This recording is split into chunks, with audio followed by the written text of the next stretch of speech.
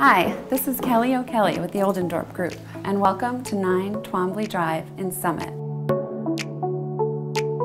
You're sure to love all of the custom features this stately home has to offer.